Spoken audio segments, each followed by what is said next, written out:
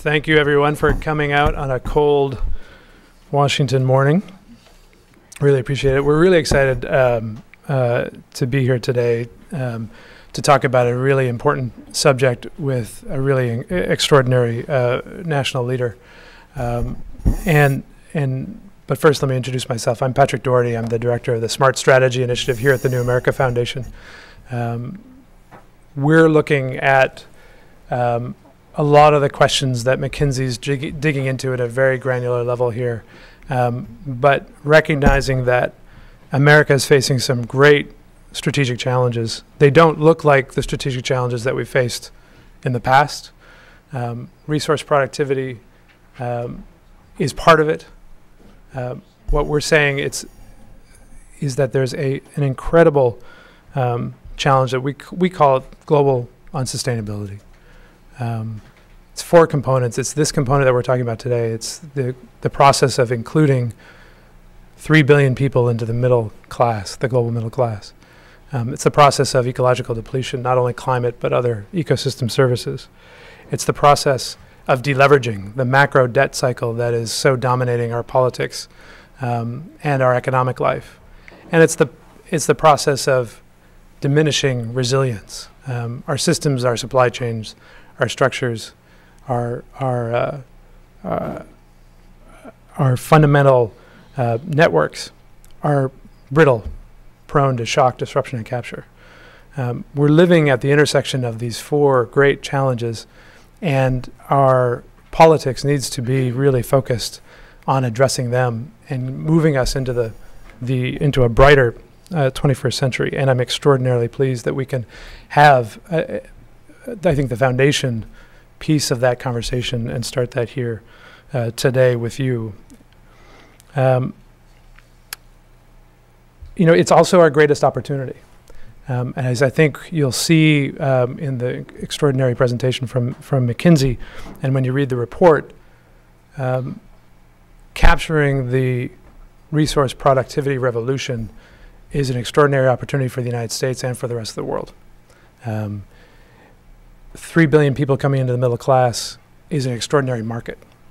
Um, it's extraordinary opportunity to al- align U.S. Uh, the next generation of U.S. productivity um, and production to the to meet the global demand out in the marketplace. And um, I think the the McKinsey work here is really showing a roadmap on how to get there and what we need to do. Um, so it's good for jobs. Um, it's also good for communities. Um, communities like the great state of Indiana. I used to work for uh, another Hoosier, Tim Roemer, um, um, and and re- was raised in a in a Rust Belt city called Buffalo, not unlike Gary, Indiana. That's that needs some productive, uh, uh, a return to productive uh, uh, manufacturing and economic life, and really jumping on this opportunity is going to be how we're going to get there. Um, so we have a great day today. First, we're going to um, listen to the re- opening remarks from Senator Lugar, um, who I'll introduce in just a moment. Um, we'll then go into a presentation of the findings from the report um, with Scott Nyquist and Fraser Thompson from the McKinsey Global Institute. Um, and then we'll have a panel conversation about this extraordinary uh, uh, report that's going to be moderated by Ed McBride from The Economist. So, what I want to do now is just introduce the senator. Um, he is the U.S. Senate's most senior Republican um, and the longest serving member of Congress from the state of Indiana. Um, he's the Republican leader of the Foreign Relations Committee and the former chairman of Agriculture, Nutrition, and the Forestry Committee. Um, he's sitting at the intersection in his own intellectual and, and leadership life um, of these issues that we're dealing with today. Um, uh, he won a sixth term in 2006 with 87% of the vote. Um, he, and not surprisingly, he was a Rhodes Scholar um, uh, and, and served as an intelligence briefer for Admiral Arleigh Burke, Chief of Naval Operations. Um, but he's also very practical and pragmatic. Um, the senator manages his 604 acre Marion County farm um, with corn, soy, and trees, uh, if I'm right. Um, but he was also the mayor of Indianapolis.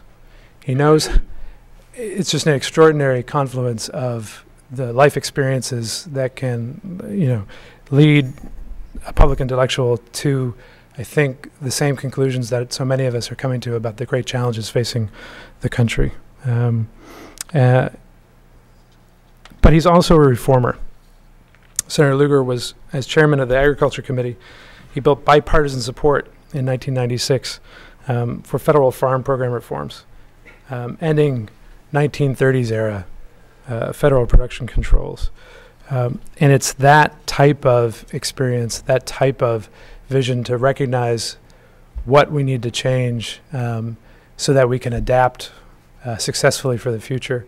Um, that is the kind of leadership um, that this country needs on both sides of the aisle. So I'm extraordinarily pleased to introduce the senator, um, and uh, thank you again for everyone for coming today.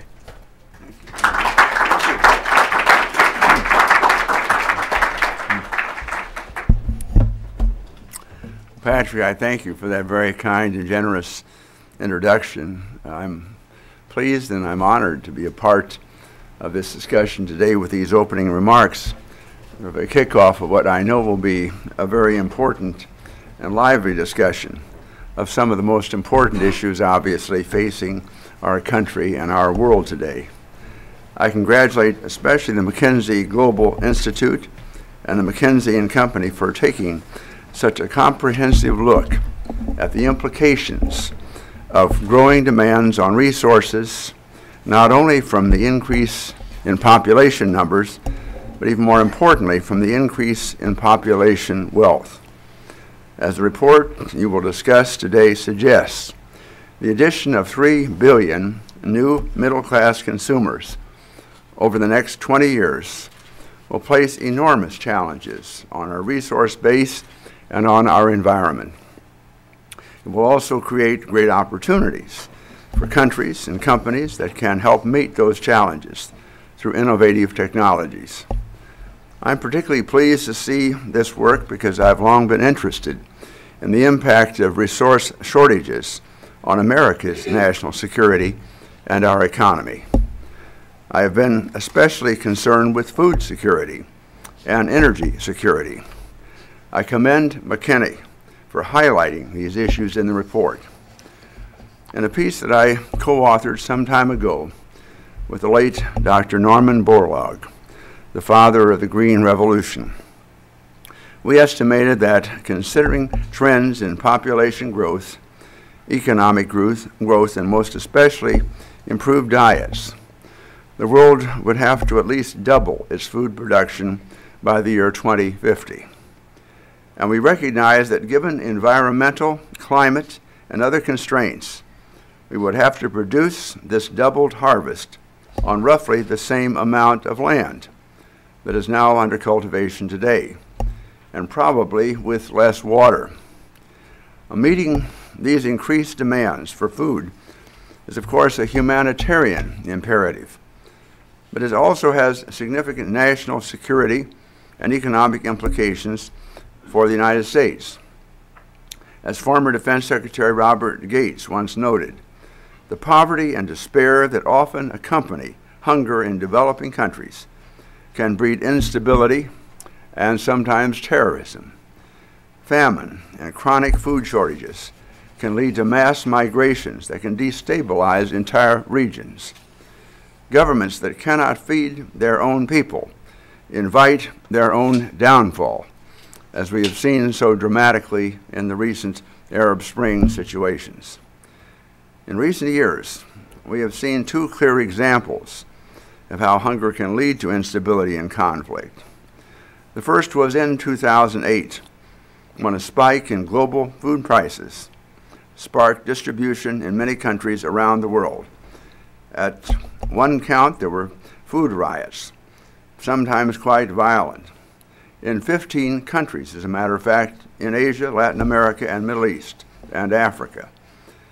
And more recently, as some have argued, the upheavals in the Middle East have their roots in high food prices. Following the self-immolation death of a Tunisian-produced vendor. The subsequent pro-democracy demonstrations included protesters waving baguettes because grain prices had reached intolerably high levels. I believe it's more than a coincidence that in December 2010, when the Arab Spring began, an index of global food prices had reached a record high, even higher than 2008. An article in Foreign Affairs magazine earlier this year noted that a list of the world's major wheat importers in 2010 included a number of Middle Eastern countries where governments are fragile or have already fallen. They include Egypt, Algeria, Morocco, Yemen, Libya, and Tunisia. So the importance of meeting the world's future food needs is high. It's a complex undertaking requiring technological advances as well as wise government policies. American farmers can do their bit to help feed the world. I recently introduced legislation, the Refresh Act, to help unleash the productivity of U.S. agriculture and save billions of taxpayer dollars in the process. But other countries, particularly in Africa, must do much more to grow their own food. And this will involve many changes across a broad spectrum. These include vastly expanded infrastructure, innovative water management, an aggressive research agenda, and difficult but vital policy changes in rich and poor countries alike. These range from taxes and investment rules to land tenure arrangements to trade negotiations. Also, an absolutely necessary ingredient to any sustainable increase in food production is raising crop yields. As a farmer who has seen agricultural yields more than triple during my lifetime on my family's farm in Marion County, Indiana, I'm convinced that improved seed technology is vital. Given the challenges of altered weather patterns, future water scarcity, new pests and diseases, and the need for more nutritious plants, we must use all the technology in our toolbox, including bioengineered seeds. America is a leader in biotechnology and American firms can make important contributions to preventing a long-term food shortfall. But to take full advantage, Europeans must drop their opposition to the use of safe genetic modification technology. Today, bioengineered plants are largely banned in Europe and sharply restricted in Africa due to European pressure. The opposition to biotechnology contributes to African hunger in the short run. In the long run, it will make it virtually impossible to achieve what the McKinsey report calls the productivity response necessary to meet future global demand. The McKinsey report also notes the importance of stretching existing energy supplies through greater efficiency. I've long been concerned about America's overdependence on imported oil to run our economy, and I've called it the albatross of U.S. national security. To feed our oil addiction, we send billions of dollars overseas, much of it to regions that are hostile to American interest or subject to instability and terrorism. And we spend billions more to defend our access to these foreign supplies with global oil prices far above historical norms and primary energy demand projected to increase by a third in 20 years. It is imperative that we find more, increase efficiency, and develop alternatives. Now, talking about ending America's over-reliance on foreign energy is far easier than achieving it, as the record of 40 years of American energy policy has demonstrated. That's why earlier this year I introduced a, new approach, the Practical Energy Plan, that seeks to achieve significant energy efficiency in America by emphasizing policies and programs that help American consumers save money, improve the competitiveness of American businesses, and have minimal impact on our strained budget situation. I'm pleased to see the McKinsey recommendations echo many of the proposals in that legislation. My bill calls for more energy efficient buildings, appliances, and machinery. It proposes a number of ways to cut our foreign oil imports, from allowing greater access to domestic oil resources to predictably increasing gas mileage standards. It also offers more cost effective ways of promoting use of advanced biofuels. Similar to the McKinsey report's emphasis on strengthening market signals, it favors flexible frameworks to address specific energy market failures. If enacted, the Practical Energy Plan would reduce the need for foreign oil by more than 50% by the year 2030 and cut overall energy consumption by 4% in that time. Independent analysis conducted by the ClimateWorks Foundation, working with McKinsey, found that it would save Americans $33 billion annually in energy costs. Achieving these goals will come through enabling the deployment of many existing and new technologies, which would be a plentiful source of good paying American jobs. The increased competitiveness of American business should enable them to hire more workers across a broad front. Still, even the most optimistic scenario concede we will remain reliant on imported oil for some time. In my view, it is best if we get as much of that foreign oil as possible from friendly, secure sources here in North America.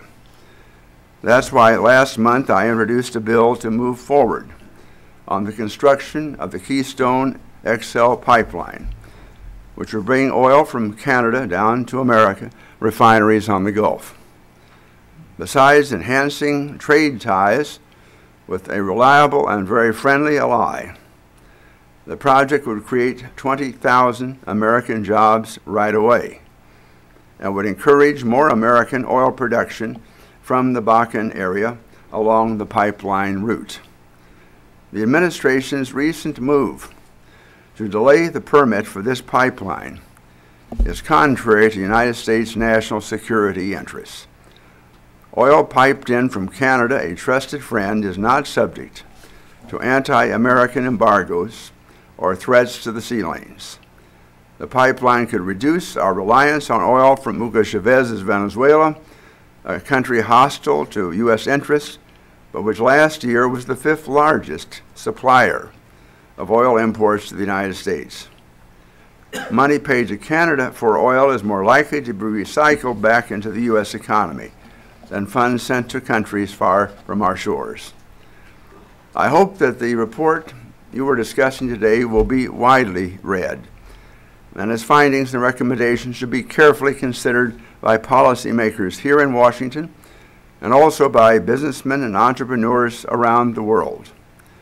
Increasing productivity will require investments and innovation, and no nation is better at producing either.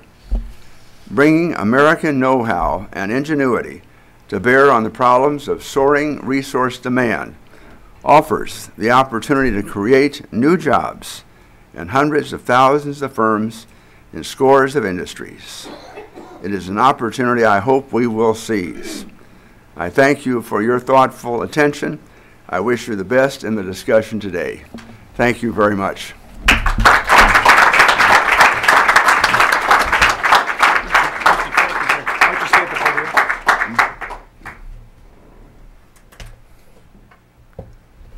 Is this on? Yep, it is. So uh, we have a few moments for questions um, from the audience, and I will take anyone who's got a question ready. Okay, for the, Senator, I'll, I'll start off. Y- you- In your remarks, um, you focus on, um, I think, what important uh, real finding from Climate Works and McKinsey around um, the amount of $33 billion in savings um, that would come as a result of your, your plan. Could you talk a little bit more about that Um, and and the, the real um, opportunity you see around energy efficiency technology and the American uh, economy. What's the opportunity uh, for us there? Um, can you can you describe it a little bit more and and and describe your hopes for the future of um, uh, energy policy in the United States? Well, our uh, practical energy plan really came as it was apparent that the so-called cap and trade debate in the Senate at least uh, was uh, not going to happen uh, or it was not going to be successful.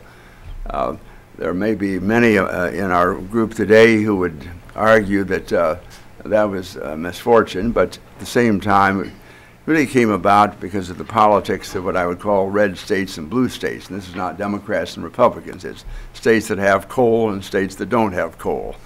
And um, and the effects upon those who had coal were so disastrous that uh, all sorts of compromises were made in the text of, of the legislation that began sort of to give away the purpose uh, of the whole uh, production. But in any event, it was not going to happen, and as opposed to simply being one of the naysayers, I thought we would try to offer something that uh, made sense to American business, even more importantly to each American citizen. So we start on the business side. I was uh, struck by the drama of the Empire State Building and the extraordinary uh, renovation of that building for energy purposes. I know I can't quote off the top of the head precisely what they paid, but as I recall, it may have been in the order of $20 million uh, to renovate the whole building. And the savings were so dramatic that they paid off uh, the loan in, in a three-year period of time and are sort of home free with all the millions of savings subsequently. I, I mentioned that building because it's conspicuous and uh, because it was conspicuous, others were intrigued with this. So uh, this is to say in, in industrial buildings, office buildings, uh, those buildings of government, including the federal government here and state governments and so forth, there are enormous savings, in the case of the government, uh, savings for the taxpayer, quite apart from just a feeling of efficiency. For ordinary homeowners, starting with the most modest uh, farm house, we've had hearings before the Agriculture Committee, and uh, there are in most states groups that are prepared to do an audit of even modest farm houses to see whether uh, a loan could be paid off in a 10-year period of time through the savings in that house.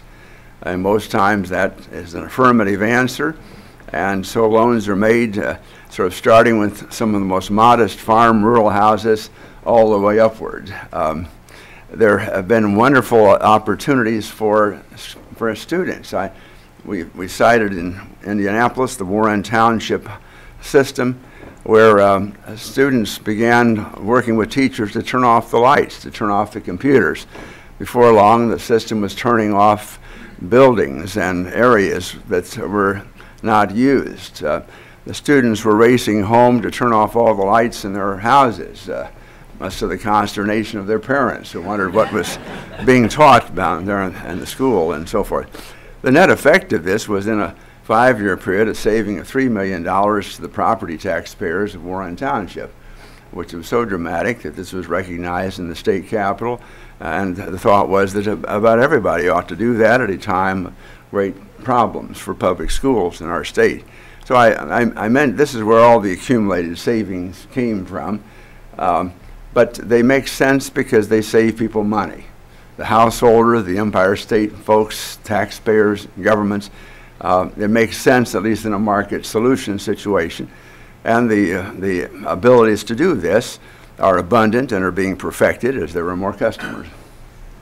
One final question that we'll turn over to the floor. Um, as a farmer, um, you must be really concerned about the state of America's soils.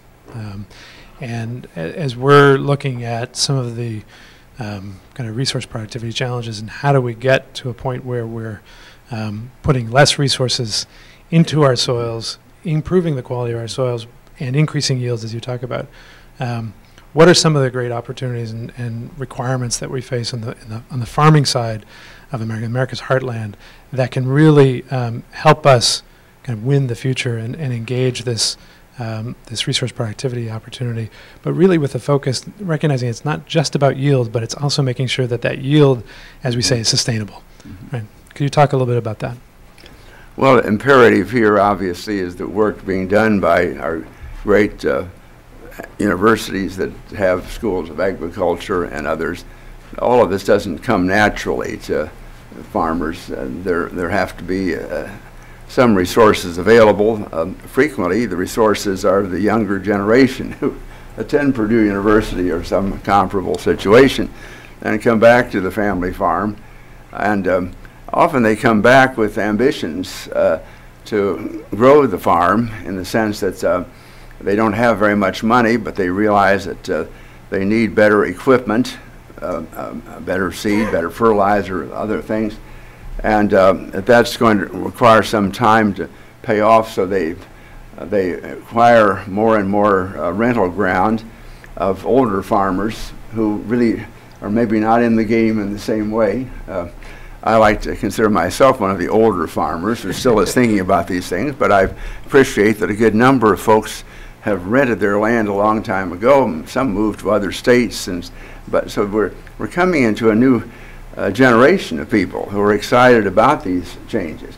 So I, that's why I emphasize the educational aspect mm-hmm. because that's highly technical, but very very important. And but there's more in, in my state of a consolidation of agriculture, not so much in the ownership, but in the larger and larger uh, amounts that are managed by one farmer, often a young man or woman who's now farming 2,000 or 2,500 acres may not own more than five, but uh, is, is applying these new techniques to a much broader scope. Thank you, sir. All right, we'll open it up to the floor. Um, sir in the back. Uh, right in the middle, yeah. Is there a microphone? Jen? Right there. Uh, Robert Sheretta with International Investor. Uh, Senator, uh, when you presided over the Senate, uh, or at least served there, uh, we saw a number of bills passed where we gave uh, substantial credits to oil companies for their developments around the world. I'm glad you're concerned about imports. My question really is um, in some cases, we see nation states who allow their oil companies to sell their oil domestically uh, for a low tax rate. But if they try to export their oil or gasoline or refined products, they're levied a very high tax on that. Shouldn't we treat the, our own precious resources within our nation the same way? In other words, allowing companies to sell and allow them to enjoy their tax credits if they sell it domestically, but, but levy a tax if they push it outside. And we do know that, uh, surprisingly, the United States actually exports a good deal of its refined energy products abroad because it's so profitable. Would you be in favor of uh, such a system that levied taxes on oil companies and those that exported those products? Well, at uh, first glance, uh, I don't have a favorable view toward that. Uh, and my, my reasoning is essentially that the United States hopefully always will be the leader in terms of trying to promote foreign trade, the most efficient use of resources around the world. Uh, for example, uh, to take the farming thing we were just talking about, uh, I'm excited by the fact that there is high demand all over the world for soybeans and for corn, the two things that I'm producing. This is double the price of those commodities. Uh, it also creates the problem that I cited in the Middle East with Arab Spring. If you are a major importer. As I recall, Egypt imports 72% of their corn uh, from, or their, wheat from the United States, and the price has doubled. Hosni Mubarak had a hard time getting enough subsidies out to the people uh, to make certain that everybody was fed. Uh, I, I, would just say that again and again, as we work with the World Trade Organization or tried to do the Doha round or whatever, the whole situation is bollocksed up by schemes such as the one that you describe, which sounds reasonably benign, but uh, countries protect uh, during shortages what they have and don't let it out, or, or they defend uh, uh domestic suppliers against trade. Um, I believe in the, in the course of, of the world, it would be best, as a matter of fact, if we had simply prices, markets, and movement in, those, in those regards. Uh, you know, finally, I would just say that um, in our in our case in this country, um, we, as a matter of fact, are benefiting from the export of refined product. All of you have read um, headlines and papers in recent days, sort of a revelation that although we really have a problem in terms of imported basic oil, the, the refined product, uh, we have now uh, a, enough of an advantage that we're exporting more of it and picking up dollars and whatever around the world. Uh, so there's another complication there. If, if we were husbanding all this in the United States, that this uh, new burst of speed in terms of our own export situation would be obviated. Okay, another question. Sure, Scott. We'd love to hear more uh, thoughts that you have on what it would take to unleash the U.S. Uh, on agriculture and, and uh, the water side of that, can. And from a government point of view, what, what policies do you see in place that uh, are uh, you might want to put in place to, to help unleash that? What barriers do you see at the moment that uh, might be holding back a, a kind of agricultural productivity increase in the U.S.?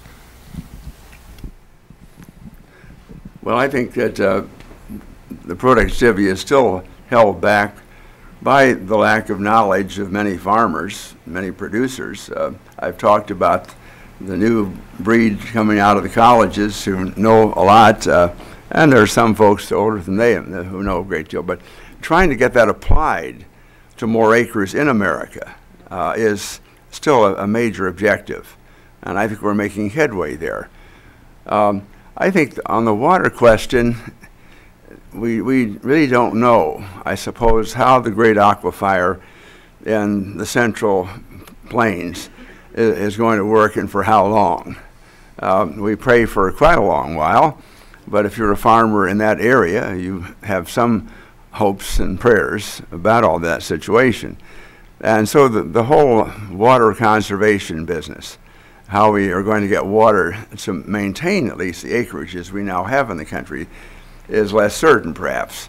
Also, and this really introduces a, a complex subject into the discussion today, but uh, I go to conferences the Aspen Institute gives for members of Congress, and we discuss, if not climate change, something akin to this uh, almost annually.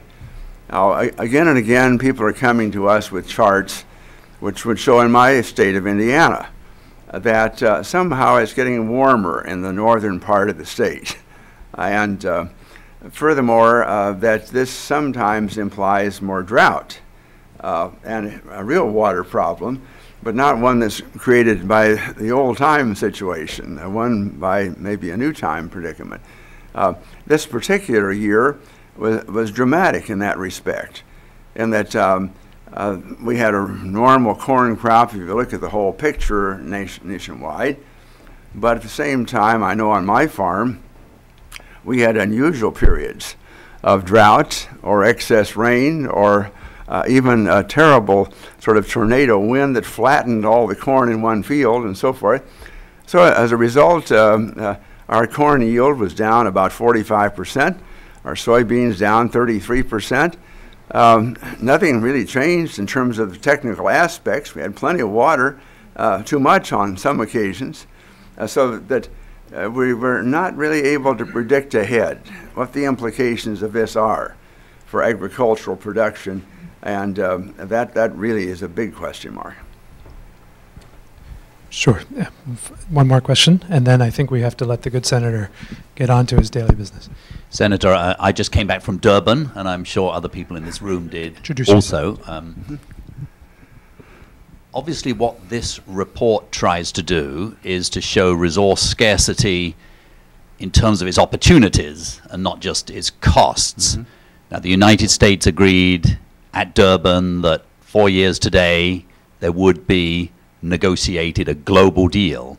This is going to be difficult to do. In the light of this report, in the light of what you've said about the opportunities, the jobs, and so on, what advice would you give to those of us who will be working in the next four years to make such a global deal possible? well, uh, first of all, I would say, uh, as a veteran of Durban, uh, you appreciate that you need to get more sleep all the time. That uh, the, the delegates had to, to work uh, diligently to get any agreement at all. Uh, but at the same time, reports have come forward that at least something occurred, and 2015 is mentioned. I, I had uh, environmental reporters yesterday as I was trying to do my duty, getting to the floor, what have you, uh, asking me, uh, does this mean that the United States in 2015 is likely to pass uh, legislation, if not ratifying the Kyoto Protocol, or some other protocol, and what have you? And I said, well, not exactly. I don't think uh, the United States quite came to that position. As a matter of fact, the United States uh, and the European countries that stayed mainly in, in Brussels throughout this entire conference uh, were fairly quiet about it, and especially on the political front here. Almost nothing was heard about it at all. Those of us who were curious read the papers, knew somebody was in Durban, but, but aside from that, uh, there was no repercussion whatever at this point. I think uh, it still remains to be seen, as you have observed, whether uh, the Chinese, the Indians, others, who are large contributors of CO2 and, and other emissions, um, sort of step up to those responsibilities as opposed to hiding behind the developing nation business. Uh, with regard to uh, monies given to the developing nations, uh, sort of in recompense for the fact that the developed have had a good time for a long while, and the others really have been denied this, and so uh, that, that's going to take really some explaining to do. As I look at what we're going to be looking at this week in the Senate floor, the thought of American taxpayers subsidizing somebody uh, with regard to all of this seems so far out of reach that uh, maybe by 2015 we have a different perspective, but I somehow doubt it. And so I, these are just quick observations. I thought it was important, however, and I admire you for staying the course and uh, I hope that the, uh, the conversation will continue. And on that, please uh, help me thank the good Senator Lugar. Thank you. Thank you. Good luck in the conference.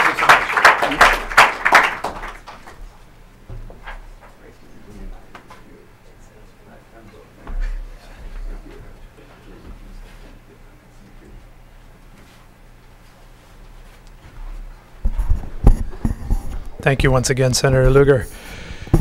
Okay, now it's my pleasure to uh, invite Scott Nyquist and Fraser Thompson up to the to the panel to present on their findings on the resource revolution.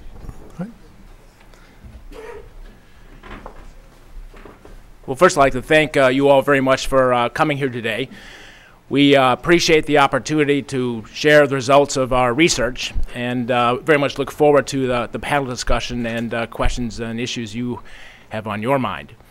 I'm just going to spend a minute or two uh, giving a bit of background on why we did this work and provide some overall summary, and then I'll hand over to Fraser, who will show you a few of the key charts from the work just to warm up for the discussion uh, with the panel. Uh, the McKinsey Global Institute is McKinsey's think tank. It's funded by our partners, and it does work of uh, interest that, of our clients. And for many years, it's been doing research on the topic of, of productivity. And in 2007, did a piece of work on energy productivity. And since then, we observed in our work around the world that many of us were spending our time working in, in our silos of various industries the oil and gas industry, water, uh, working on uh, electric power, and what we observed is that while we were working in the silos, we were never really looking at the system effects uh, across all these particular areas. And so MGI thought it would be a good time to try to pull all these ideas together in a slightly more comprehensive system view. And this report is, I think, a, a, first attempt, at least for us, to try to integrate all these resources into one kind of global uh, perspective. And I think the work is actually optimistic. The, the notion of uh, 3 billion uh, people entering the middle class is, is an optimistic view of the world, and, and it's an exciting view of the world. It does have some consequences of uh, uh, pressure on our resource system. As Senator Lugar mentioned, 33% uh, increase in uh, global energy demand by 2030, 80% increase in steel demand. We can see pressures on the water system with demand growing by some 40%.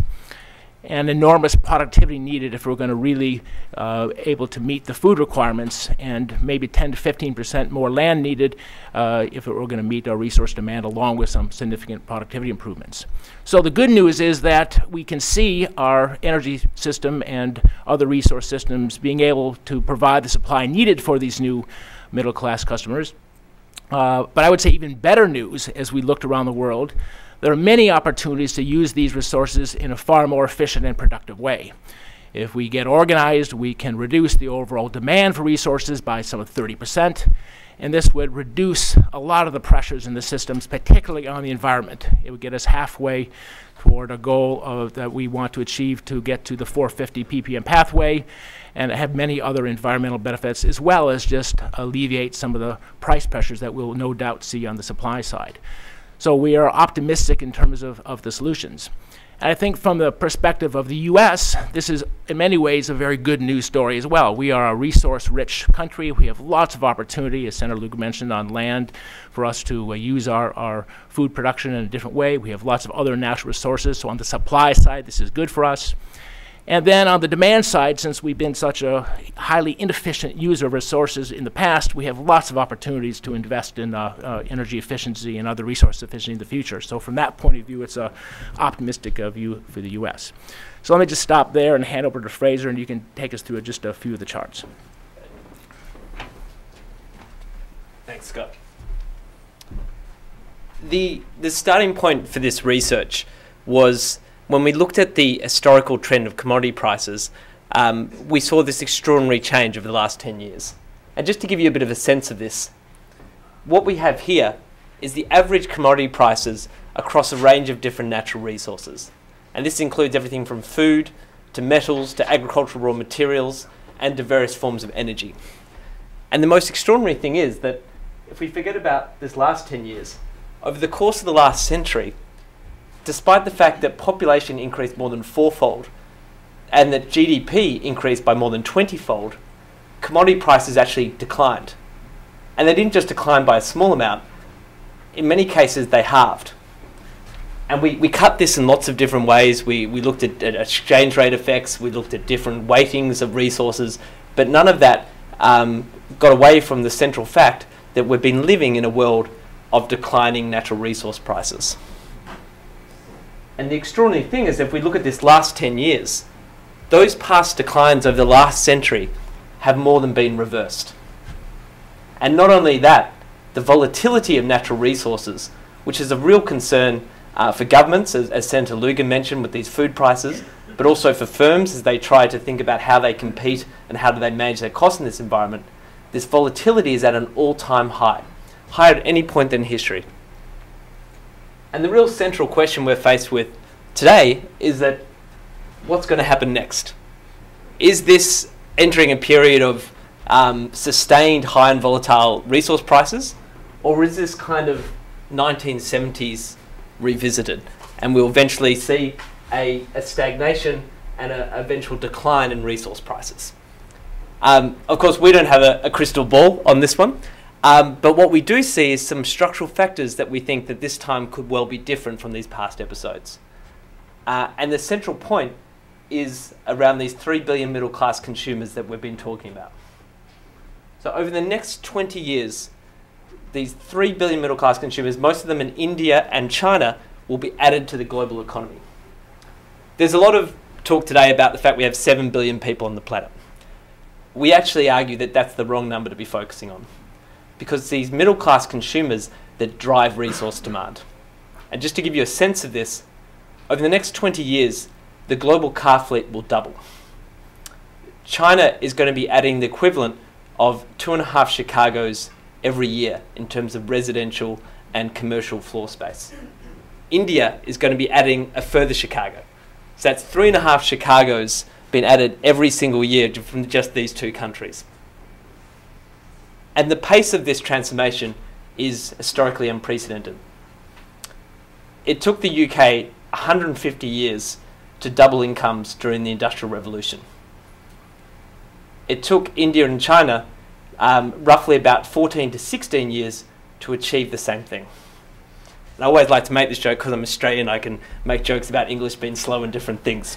Um, uh, the other fact is that not only was this pace of transformation 10 times faster than anything we've seen in history, it's the scale that's also unprecedented. So whereas the UK started the Industrial Revolution with a population of just 9 million, in China and India they started with a population of roughly a billion. So this transformation is happening at 10 times the pace and at 100 times the scale of anything we've seen in the past. And this would be, uh, we're able to be able to cope with this if it wasn't for some more complicating factors. Um, and that's that the fact that access to resources is often becoming increasingly difficult and expensive. And what we don't say in this report is that we're forecasting any absolute shortages of resources in the near term. But what we are saying is that in many cases, they are becoming more expensive to extract. And just to give you a few examples of this, on, in the past 10 years, the cost of building an oil well has more than doubled. And despite exploration spend increasing fourfold, the actual discoveries has basically been flat. And beyond just that cost, the other contributing factor, which Scott referred to, is that the linkages between resources is becoming more apparent. And let me talk you through briefly this wave of different arrows and connections. The, the critical thing to focus on is the size and the, um, and the width of these arrows. If you look down here, it's interesting to note that roughly 70% of water gets used in agriculture. So Senator Lugar referred to as we, as we increase agriculture, there's a huge dependency on our water supplies. But not only that, there's a number of other linkages. And what's interesting is that those linkages are in many cases strengthening, um, particularly over the past 10 years. And let me give you just one example of that. As we shift to um, unconventional oil, horizontal drilling uses roughly four times the amount of steel as conventional oil production. And we look at where that steel comes from, the critical component is iron ore. And that iron ore, roughly 40% of iron ore production is in areas with water stress.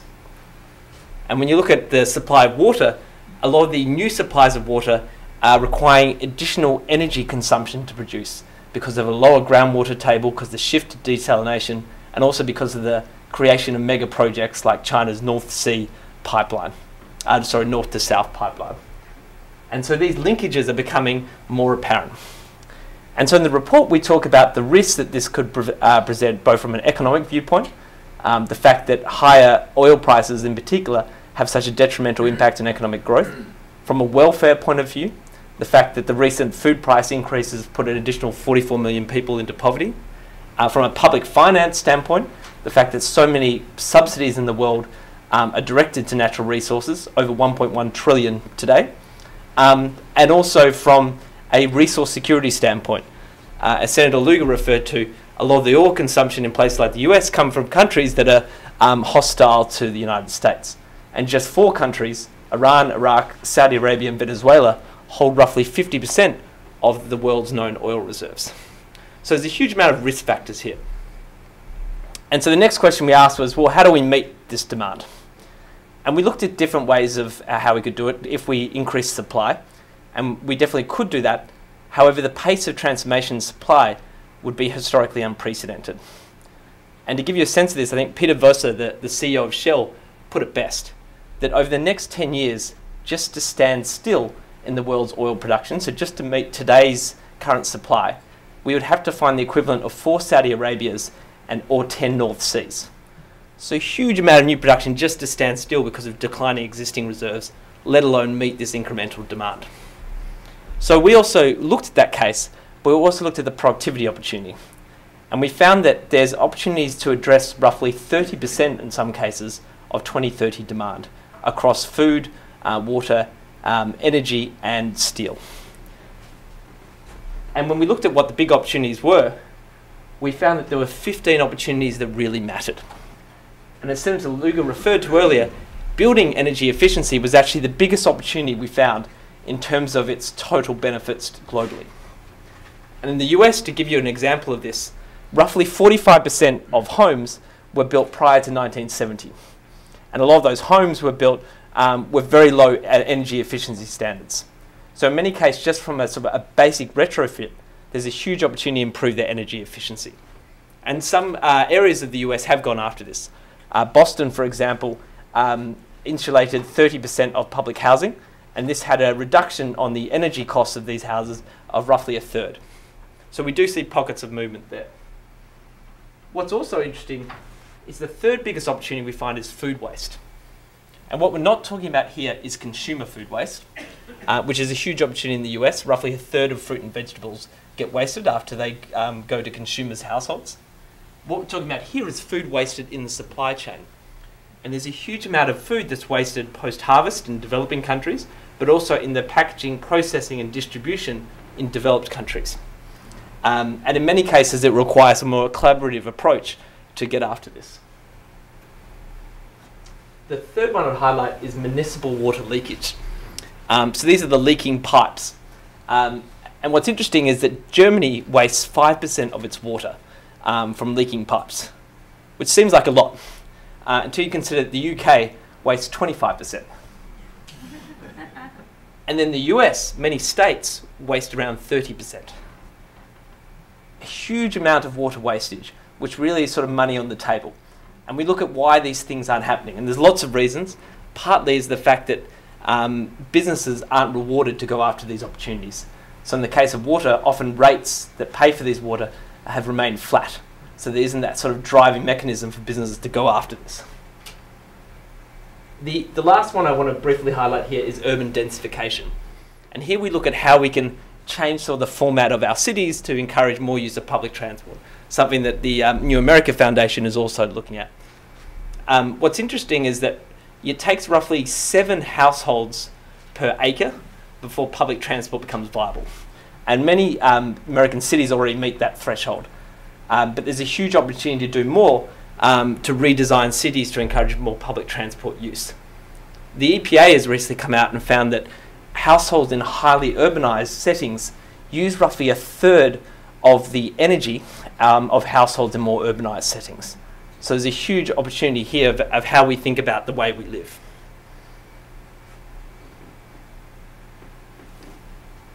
Also, it's interesting to find out where these opportunities are located. Roughly 70% or more of the opportunities are located in developing countries.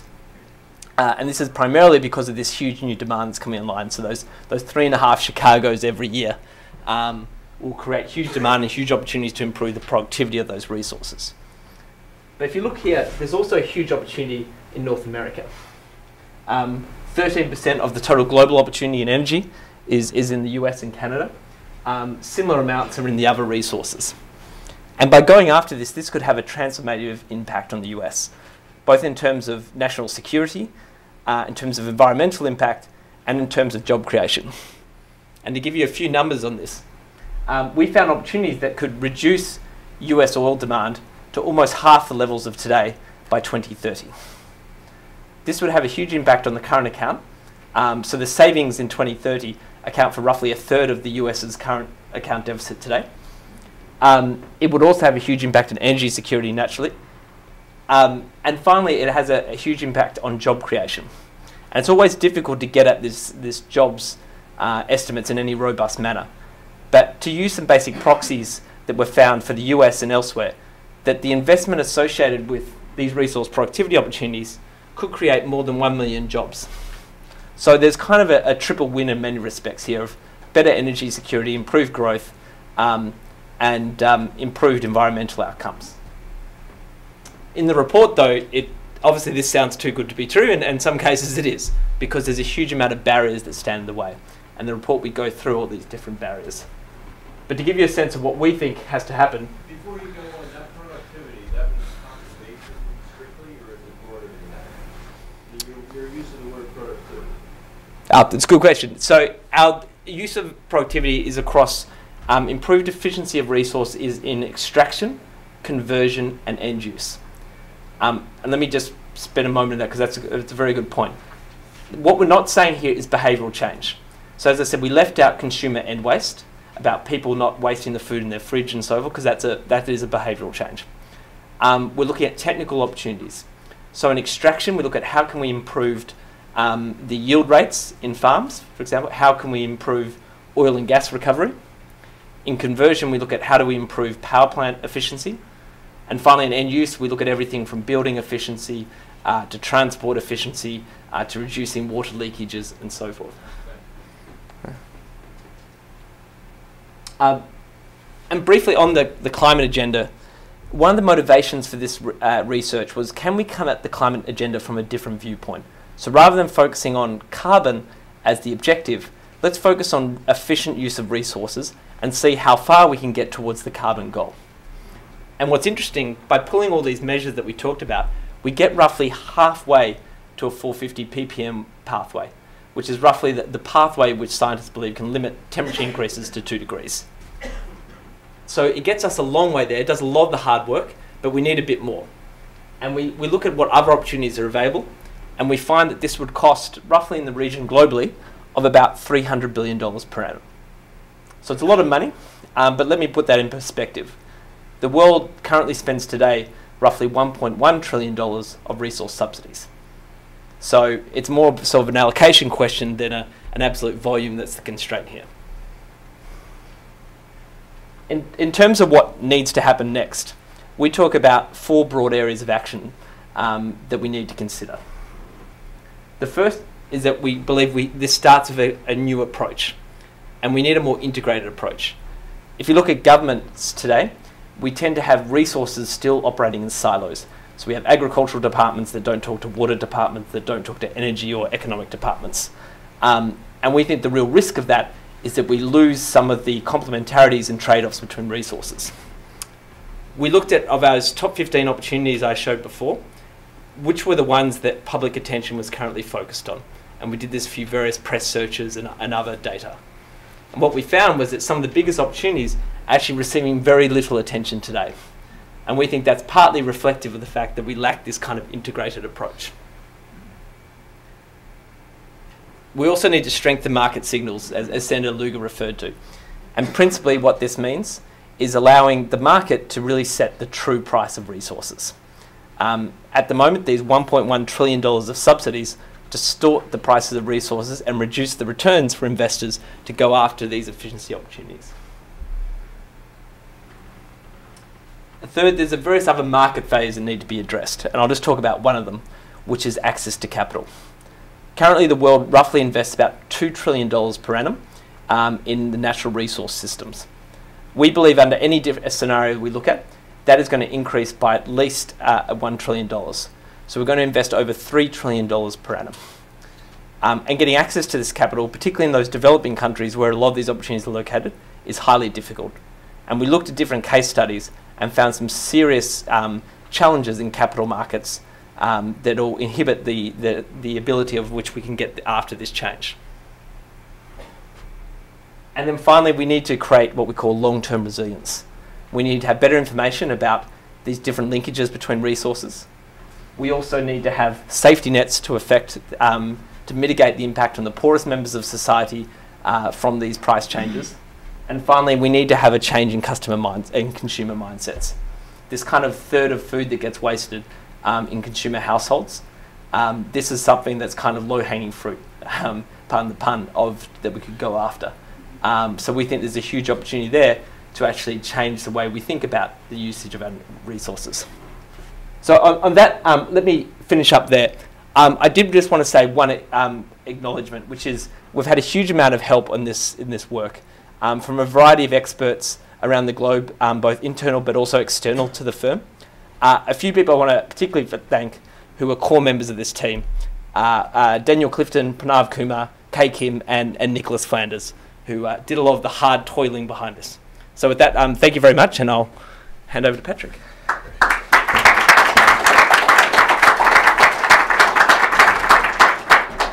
Okay, now if you can hold on to your questions, I know there's a lot of stuff you want to get into. We're going to transition quickly into our panel conversation um, and have our panelists chew over this um, all this great material first. And so I'm going to call uh, Edward Abbo, Alan Scher, Andrew Steer, Scott Nyquist, um, and our moderator Edward McBride. Um, Edward is so generous to, to make his time available to to us today. Uh, he's the Washington, he's Washington correspondent for The Economist, um, and uh, has been watching these issues um, and and been uh, now in Washington D.C. Kept up late last night by his little daughter, um, but he's he's ready and willing to engage this great panel. So I'm turning it over to Edward. Thank you.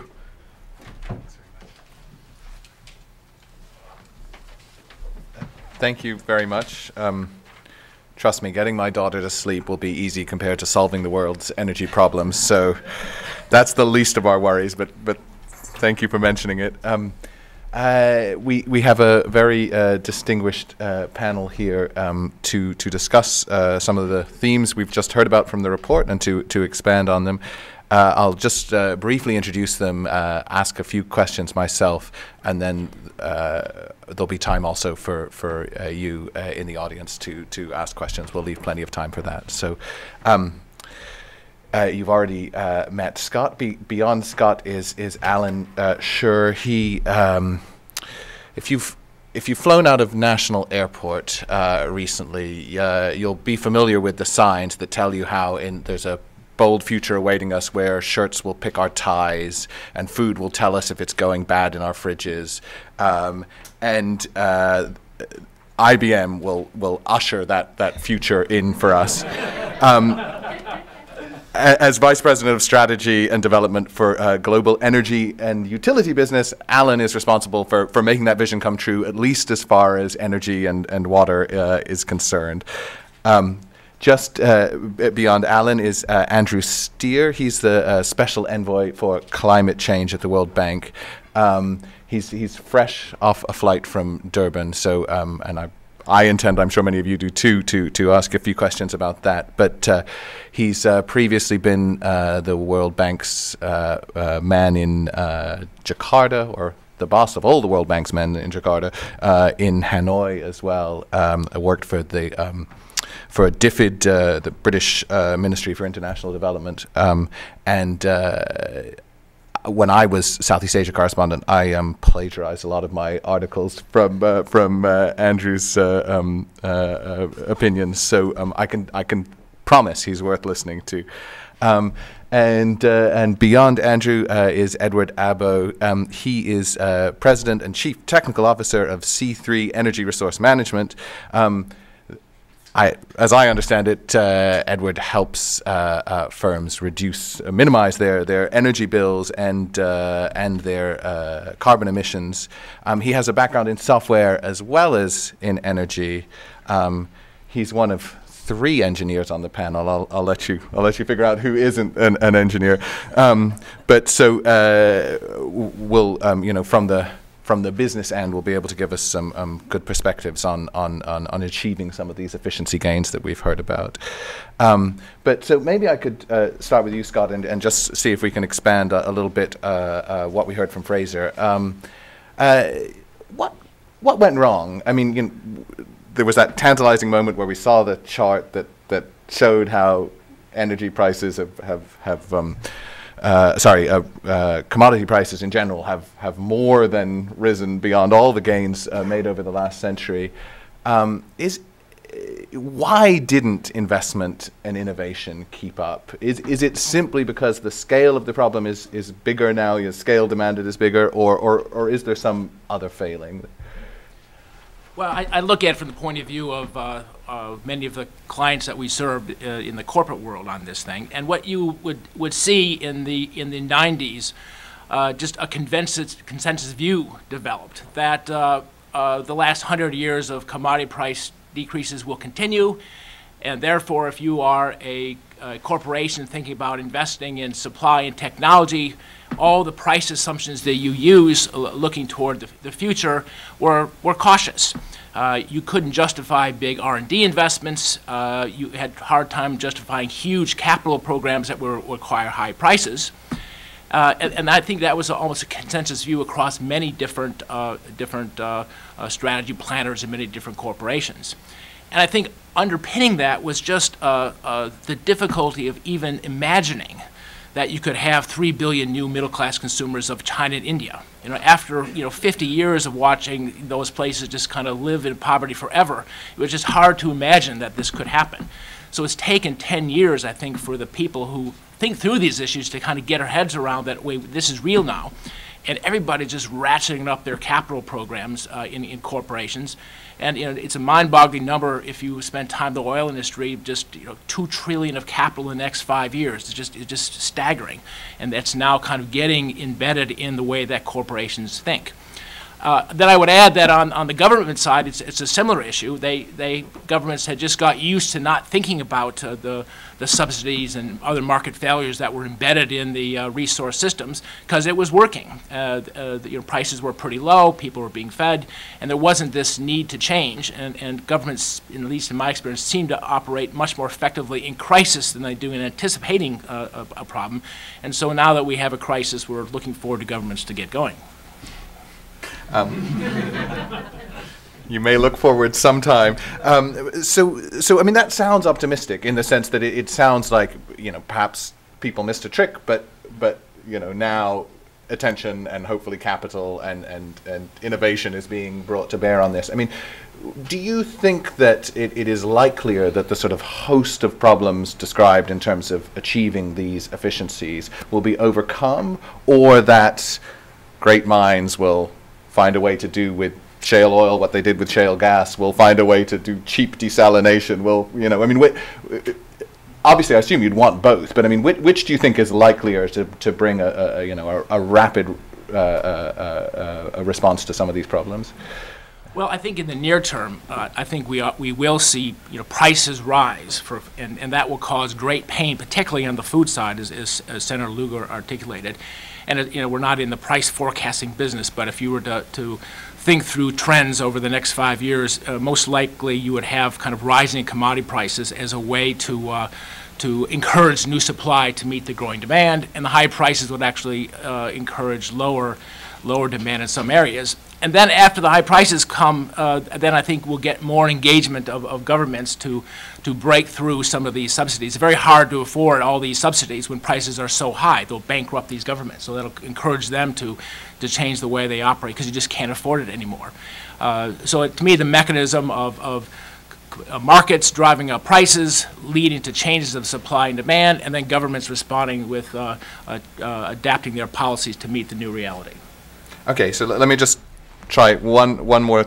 Um, I've got a, an exhibit here. It's from page 13 of the report for those of you who, who have the report with you. You don't need to be able to see what's on this piece of paper. I know you can't. Just, it's hauntingly reminiscent of, of the, uh, which I think you might have been involved with, the McKinsey cost curve of, of greenhouse gas abatement opportunities that was produced about 10 years ago to tell us all that you know it was okay. You know we could afford to to tackle um, climate change, and and indeed we would for the most part, make money off, off tackling climate change. Um, obviously, even though I don't think anybody really disputes the core of that finding, that that didn't happen over the past 10 years. I- uh, Is, is this, you know, are are we likely to suffer a similar fate? Some, some very good ideas that, that simply don't find their, their political moment. Yeah. No, and I, I think the, the, the framework that we use in, in uh, the greenhouse gas cost uh, curve analysis is very similar to this uh, framework using in resource productivity. Uh, the, the, the story I tell is, you know, we spend 20 years doing all kinds of work inside McKinsey, and then all of a sudden this one chart everybody likes, so we decide, let's go with it. It seems to, seems to work.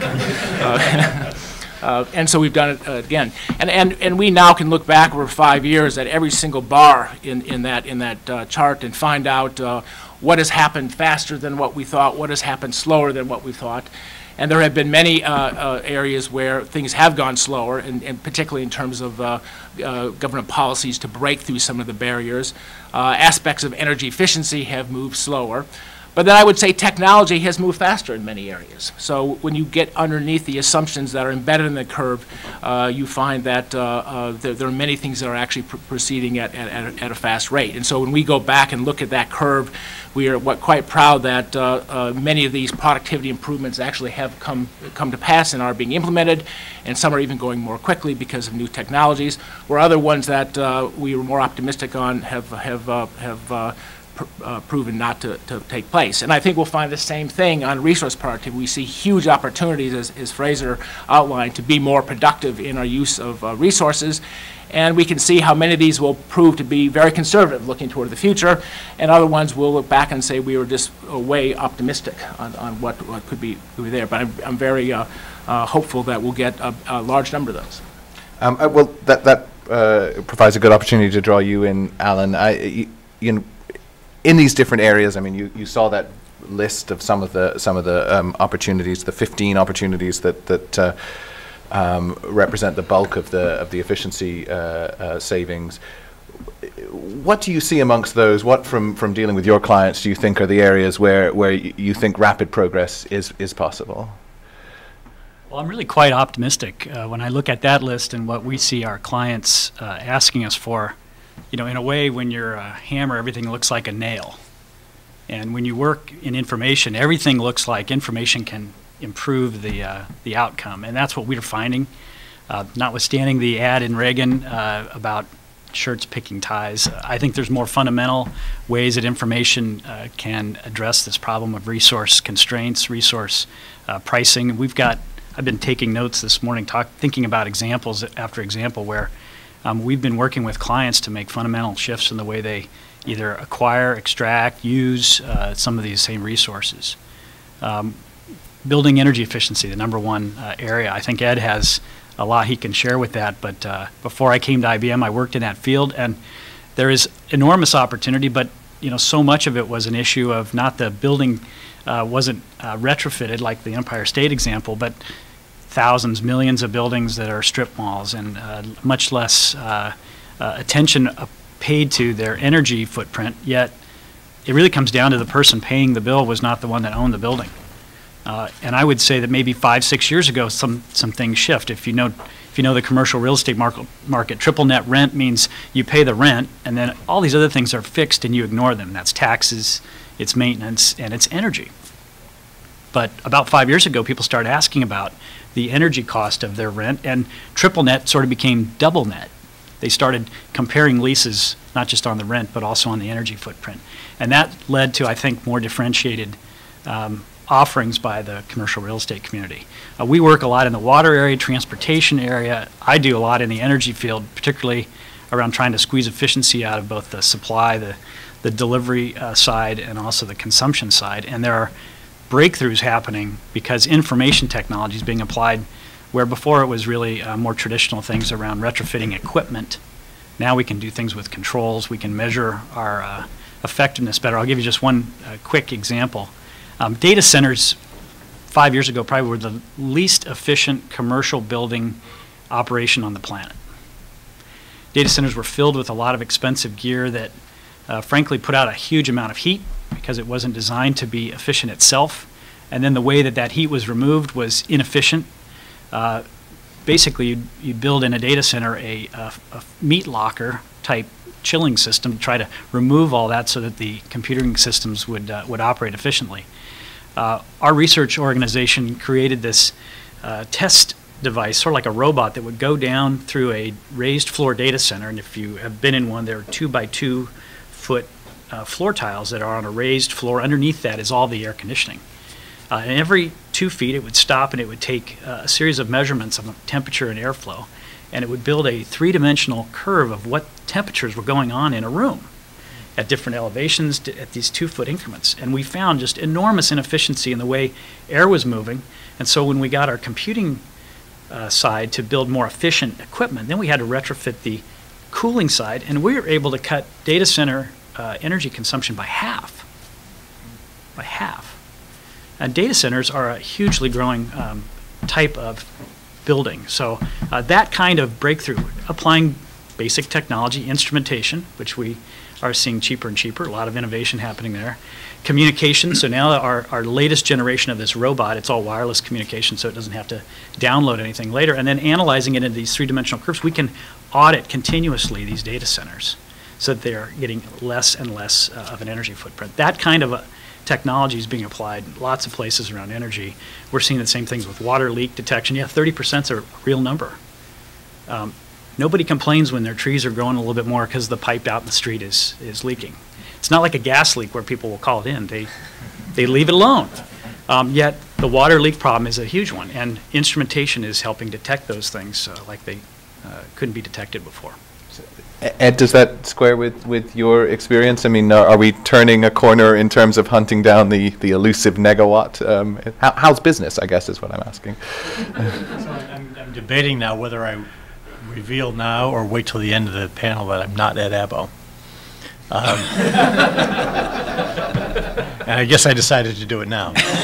Um, I'm, I'm sorry, Ed couldn't make it at the last minute, um, so you're stuck with me. I'm, I'm, I am with C3, though. I didn't, I didn't just walk in off the street.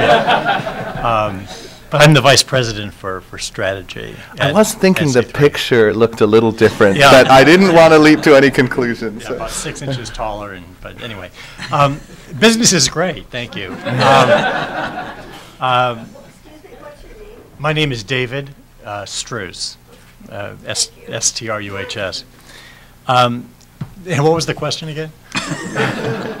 Well, uh, are you finding that, that people are, you know, Yeah, suddenly absolutely. companies are more interested in seizing these efficiency opportunities than historically they have been? Because Yeah, I- historically, energy, effi- you know, people leave hundred dollar bills on the sidewalk, right? Right, and I think, and and I think, um, I think this discussion sets it up uh, perfectly, because uh, McKinsey has, has made a very compelling case that uh, uh, we're going to see resource constraints around food and water and energy and basic materials.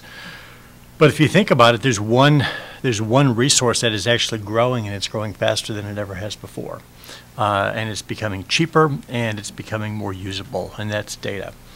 And uh, many of you have probably seen some of the research done at uh, Wharton, uh, MIT, and Babson College.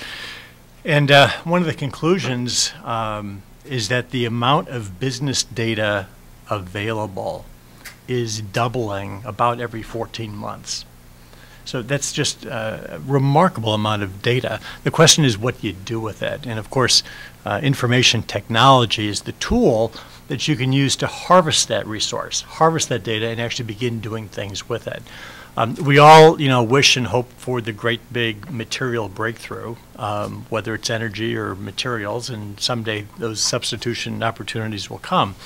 But in the meantime, I think it's uh, almost universally agreed that the best way to stretch the resources we already have available to us is to use them more intelligently. And using them more intelligently means taking advantage of that data. And what we do at C3 is, is, is, is a bit novel. We come at it from a different point of view, uh, using some advanced uh, IT, where we actually model the enterprise. So we have a, a working model of physical resource flows that go through the organization. Um, what you can do by that model-based approach is you can then calibrate the physical resources to the key financial performance indicators or business indicators that are important. By calibrating the physical resource flows with what's financially important to an organization, you begin to start to see things and have insights that you might not otherwise have. And what that leads to is the ability, of course, then to do some scenario planning, um, because we are facing some uncertainty. We don't know what happens as that chart goes off to the right. But we do know we have to make capital decisions today, and sometimes we're making decisions that are long-lasting in terms of capital investments. Um, So the opportunity for, for an organization to do some robust scenario planning that's actually based on a model of, of, their enterprise is pretty valuable. The other thing we find is that it, um, by breaking down the silos of information within an organization, you avoid the common problem of sub-optimization. Oftentimes, when you think about improving efficiencies of, of any type, uh, it, it's typically done by business unit or region or product line or plant. Um, and we shouldn't diminish the, the importance of those efforts, but if in the end what you really want to do is to maximize the financial objectives of the enterprise, you need to be able to step back and make sure you're not making suboptimal choices. And, and uh, by modeling the organization, you avoid that, that problem. Um, so business is good. Bus- Business You- is you- great. And in fact, one of the reasons Ed is not here is because he's with a uh, important energy customer who is um, actually looking to, to expand their use of, of our software. Um, so, uh, Andrew, maybe I could ask you. Um, uh, you know, several times in the presentations, uh, um, subsidies were mentioned, and and subsidies seem to me uh, the, the sort of crowning example of of, of, of seemingly um, uh, sort of. Wrong-headed behavior, you know, that makes this problem worse, that allocates money that could be used to fix the problem and so on, and yet, uh, especially in developing countries, they, they seem to endure, and in, in many of the countries you've worked. Can you walk us through a little bit why what, what appears to be such an obvious opportunity goes untaken, and, and what, how, how, to, how to remedy that? Well, you're right. There are many hundred dollar bills on the pavement. Um, in developing countries, energy subsidies uh, range between 300 billion and 500 billion, according to the international price of energy. Uh, OECD's just done a, the most detailed review ever of uh, energy subsidies in OECD countries. Uh, and even there, $60 billion is subsidizing fossil fuel. Now, in developing countries, subsidies are basically on consumption. In OECD countries, they tend to be more on the production side, so they're much harder, whether tax expenditures or whatever, they're much harder to identify. But the OECD identified about a couple of hundred um, different types of cleverly concealed, often subsidies of uh, fossil fuel production mainly. Um, why are they still there? Well, it's because people actually haven't read this. Um, uh, this this is a, a wonderful um, um book, um, and whether or not we succeed in addressing the challenges that are identified in here, which we would totally um, share and understand, we totally would share the analysis of this uh, at the World Bank. Whether we succeed or fail, it's whether or not we're able to get the understanding that actually it is smart politics to move in the right direction. And we're seeing a lot of encouraging moves. I mean, the whole green growth thing is catching on in a very big way. So last month I was in Vietnam. Vietnam has sent out, now set up a national commission for green growth. They say we know how to grow at 9% a year, but we actually want to do it differently and we actually think it's in our interest, as well as showing international leadership, if we do things separately. Um, China didn't need this year to impose cap and trade on itself uh, in four cities and two provinces, and it's made a decision that by 2015 it will have a nationwide cap and trade system that by 2020 would then be part of an integrated thing. It's not because they have any international obligations, it's because they want to grow differently and they know they should, and their 12th five year plan tries to capture exactly that. So, so there's a big intellectual battle in the next four years. And I think the answer to the question, is there going to be a global deal on climate change by 2015, depends upon whether or not these messages get through, I think. Now, um, and at the moment, uh, the jury is very much out. We've got to be absolutely honest, that as this report is, that the task ahead can partly be done in a win-win way. Half of what needs to be done can be done in a win-win way, and it's not being done in a win-win way right now. I mean, energy efficiency is not financed through most countries' banking systems. It is extremely hard to get banks in all around the world to lend for energy efficiency for all kinds of well-known reasons relating to what's your collateral and so on. It's also very difficult to get politicians in many countries to get as excited about energy efficiency as it is to get them excited about some new wonderful high-tech investment which they can cut a ribbon over. Um, there are all kinds of reasons why why the win-wins are not being taken we need to demonstrate that they are there. Because once you take what's available under the negative part of the cost curve, you then can see that what you have to do up here on the positive is not beyond the realm of possibility. And um, last year, as you know, $250 billion worldwide invested in new renewable energy investments, of which more than half in developing countries. So things are happening the problem is they're not happening at scale. And what you've seen, if you look at the Copenhagen, Cancun, Durban trajectory, in each case, you know, of the 20,000 people who go, most of them are not doing negotiation at all. So why are they there? They're there because they, they care about the world of action. In Copenhagen, the private sector was there in force, and they wanted to be they wanted to be close to the negotiators. You know, we want to we want to be with these negotiators. In Cancun, they were 10 miles from the negotiators. They were getting on with the job, and they were sort of looking down at the negotiators, saying, "Come on, guys, you know, let's get going." In Durban, there was an incredibly vibrant, energetic discussion going on among private sector, academics, and governments who were doing deals and laying out the kind of messages in here, and they were contemptuous in many regards of the negotiators, saying, You guys, we're not asking much of you, but set in place for us a framework so we can get on and do the job that we need to do. And in many ways, the success at the end, I believe, in Durban was finally some of these negotiators who are lagging a long way behind the world of action. They wanted to say, okay, okay, we'll, we'll try and catch you up. And whether or not the next four, which obviously the next four years are absolutely crucial as to whether or not we get a global deal. Whether or not we're successful is whether or not that kind of dyna- dynamic is able to continue. Well, can you expand on that a little bit? I mean, that seems critical since everyone here uh, this morning has been sort of bleating about price signals, and, and obviously the biggest price signal that's missing in most places is on carbon. You know, what, what will make the difference over the next four years? You know, I put the optimistic case for what took place in Durban and how that might lead to a proper price signal on, on carbon. Well, I mean, for example, um, there are now 40 developing countries that have feed in tariffs.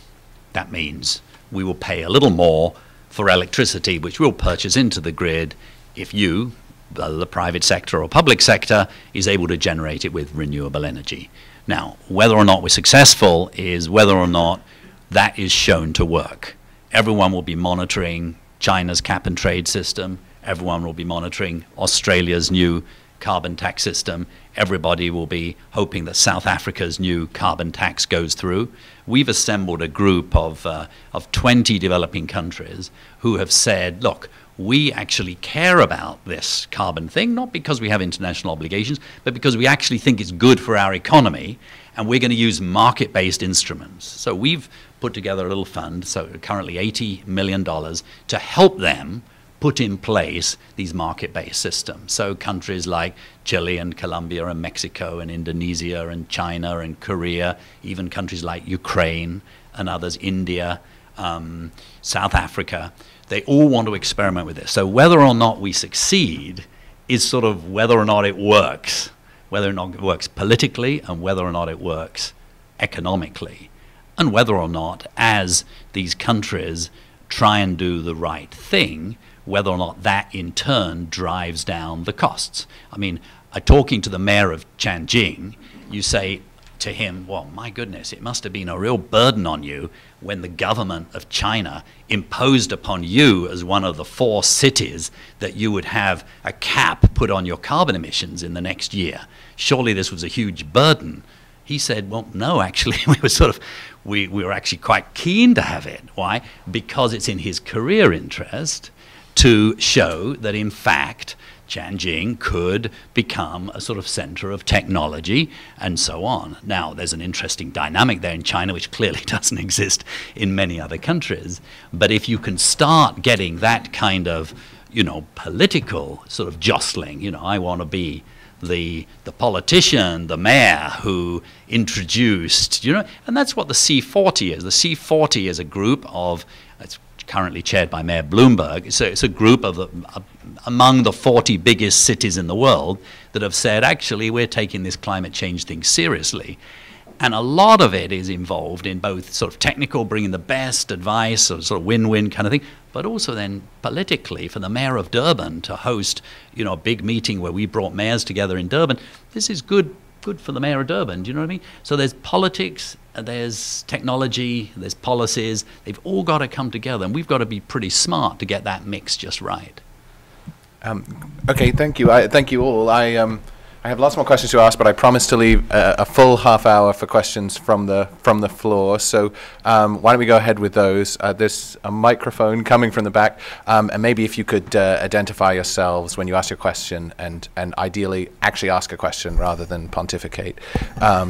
It, why don't we start here at the front?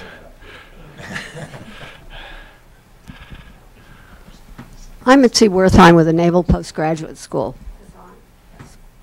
Um, and I've been working on energy since 05. I'm a social anthropologist. What interest, there a number of things about the report that intrigued me. One is you left out human behavior. That turns out to be the number one issue the military is now dealing with vis-a-vis energy, is changing the behavior.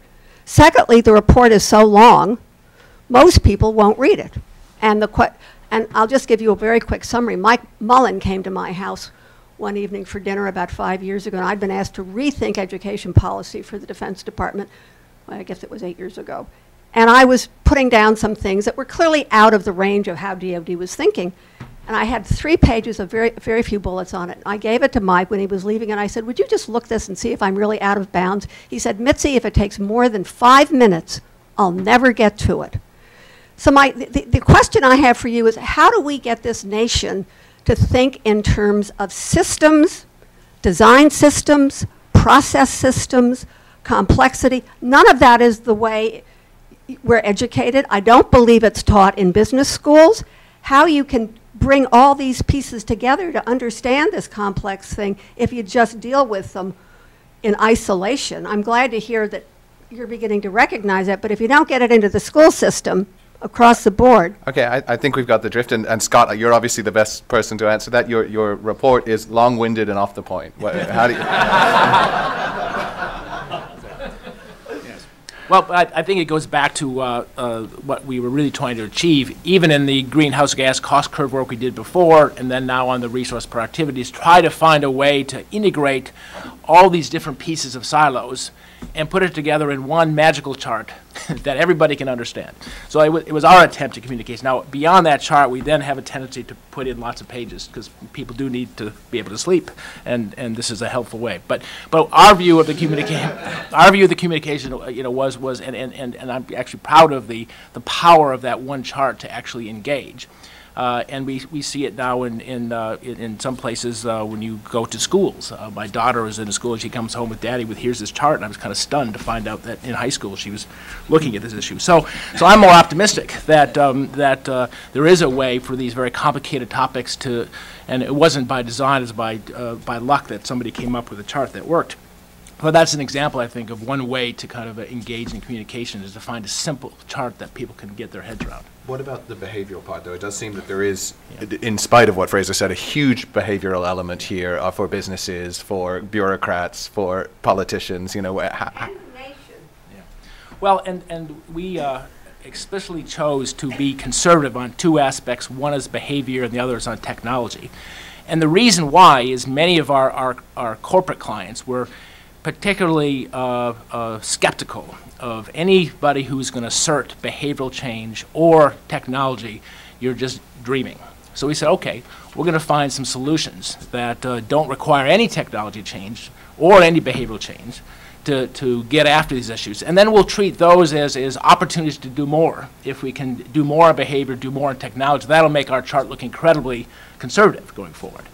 And in, and in the report, that's, that's how we position it. We, we don't have the expertise on the social side to get into the behavior of things, but we found a very compelling way with the most cynical corporate executives to kind of position it that way. but won't you need behavioral change on the part of those corporate executives? Not mass consumer behavioral change to achieve these things, but I mean, i- in boardrooms, in, Right. in bureaucracies. So there is, I mean, so the, the behavioral change uh, on the, on the consumption side is what we were, we were talking about, but on, on the, uh, the behavioral change of, of, uh, uh, corporations, that's where this, this kind of work does actually help, because they're used to dealing with facts and analysis, and when you come in and say, and it's very much what, uh, colleagues were talking about, uh, all this data out there, when they see the data and see the business opportunity from it, that's what gets, uh, corporations into action. And I, both, uh, IBM and C3 both are, are providing ways to make that happen.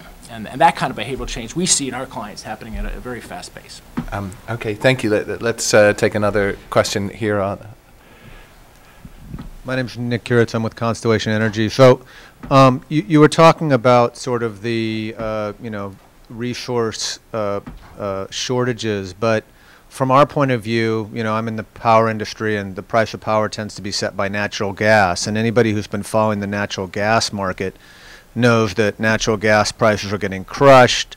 Um, the whole uh, shale gas horizontal drilling is massively increasing supply. Um, U.S. gas is stranded, can't be sold overseas because we don't have LNG exports. By the time we have LNG exports, Australia is going to be uh, doing LNG exports. And so, um, from the point of view of energy, it seems like there's sort of a, a revolution going on that, you know, how long this is going to last, I don't know. It could be 20 years, could be 50 years. Um, so this is sort of a, a, a, a boot in the works. You know, I believe in global warming, and you know, I don't think this is necessarily a good thing, but it's a prisoner's dilemma. I don't see anybody, uh, any any country having the incentive to to step outside and not use that resource.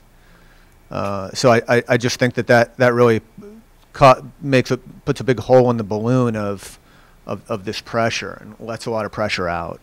Let, let me forward that to you, Alan. We- We'll, we'll give Scott a break. So I think the fuel uh, part of the power equation, absolutely true. Uh, Gas sets the marginal price in a lot of markets, but the rest of the uh, cost equation for most power, uh, whether it's uh, repowering power plants, uh, constructing new to replace retiring plants, all the transmission distribution where copper, concrete, aluminum, labor, uh, those prices are not going down. That's uh, completely driven by the demand happening really in China and India and the Asia Pac region. And so, um, you know, the, the real choice around uh, the total price uh, is probably being uh, moderated by gas for now in some markets. It's not the same as in Europe.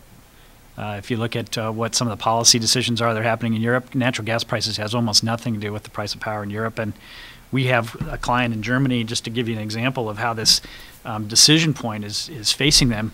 With all the solar, the feed-in tariffs that are happening in Germany, the number one solar producing country, even though it's pretty cloudy, um, and their engineers are facing real dilemmas now because of the massive injection of solar. They have voltage issues at the secondary voltage level. And the decision is more what they call more copper, more transformers, um, reconductoring lines, or trying to be smart about how they manage those uh, uh, flows. So it's really a trade off of information versus copper. That's literally how they talk about it. Uh, and copper prices, go, as they're going up, is creating a, uh, a strong diversion of their interest toward, at the senior executive level, towards some kind of smart way of mitigating that cost, irrespective of fossil fuel prices. Alan, though, couldn't you interpret that example as, as a sort of a pessimistic one? I mean, that, um, uh, you know, on two levels, you know, first that the price signal in terms of, of alternative energy, you know, isn't there because of cheap gas in many cases. And then on top of that, um, the way the price signal is, is, is you know, countries are attempting to insert the price signal is in this incredibly inefficient way that I'm sure McKinsey could write a huge report about with a beautiful cost curve, you know, of Germany spending a fortune to put solar panels under cloudy skies. You know, I mean, it, it, Well, I, let- let's just take Germany for a second, because um, with their decision to shut down the nuclear fleet in Germany by 2020, they have to replace with power somehow. I think even without feed-in tariffs, you would find a cleaner energy mix than coal generation that was a generation ago's substitute in Germany. And I don't think that the feed-in tariffs would have to go up. They could, they arguably, they've gone down some already. Um, I think you'd find all kinds of other creative strategies for mitigating that policy decision about nuclear power that would not require massive subsidy. I just don't think it's necessary. They're, they're in a bind without it. Andrew, can I just ask on that? You know, how is this all viewed in the developing world in particular? I mean, do they think they've they've got a break because you know gas is cheaper? You know, um, there's lots of coal around, or or are are they looking beyond that in in, in some way? You know, is is the bottom line still basically the resource price, or is there? Look, I think in most developing countries, um, understandably, they are wanting to get the cheapest um, cheapest power. Sixty. Uh, 8% of homes in Africa still don't have electricity. Now, an interesting question is, you know, should the existence of climate change delay that or should it accelerate? And one of the things that we tried to do in, uh, in Durban was really sort of change the psychology of Africa towards climate change to make it a much more pro growth. So that, for example, I mean, my view is that, um, uh, that the existence of climate change should accelerate.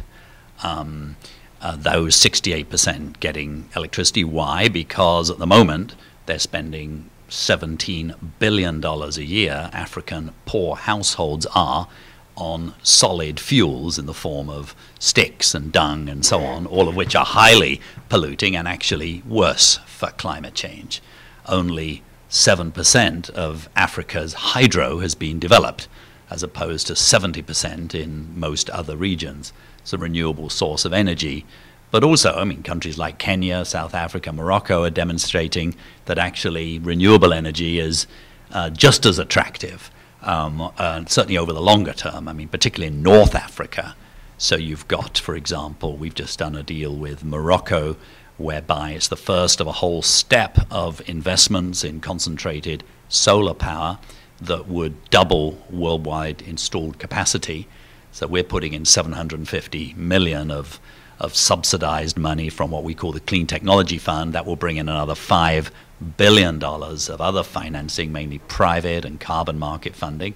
And as a result of that, North Africa and the Middle East, which has been, of course, the biggest exporter of old fashioned energy, will become, in turn, the biggest exporter of clean energy to Europe. And so at the moment, power flows south through Spain into Morocco uh, under the water.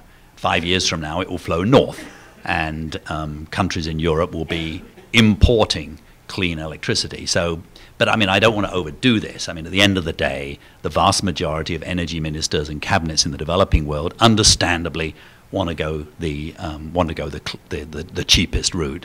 And quite frankly, I mean, given what they have to do, one can't blame them. And I think the burden on us and this report and others is to try and show that that over time there is a better way. But we obviously need to lead by example. Sure. Uh, in the in the middle here, the gentleman on the aisle. Uh, Rashik Raman, Virginia Tech International Energy Efficiency Network.